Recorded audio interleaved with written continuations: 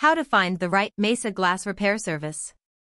Finding the right glass repair service in Mesa isn't hard when you use this simple checklist to cover your bases.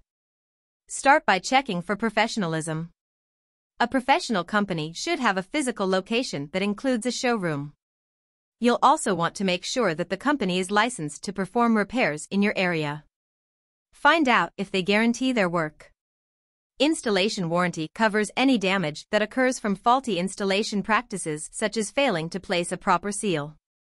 There is also a manufacturer's warranty that covers flaws or blemishes in the actual pane or framed window that we install. We offer both types of warranties so that you have a full service guarantee. Ask if they can manage the scope of your project. Working with a company that has decades of experience under their belt and access to higher end glass means that you'll be happy with the results. Read customer reviews. Look for a company that has a reputation for successfully handling projects. Make sure the estimate fits your plans. The final step in your checklist is to make sure that the services fit your budget.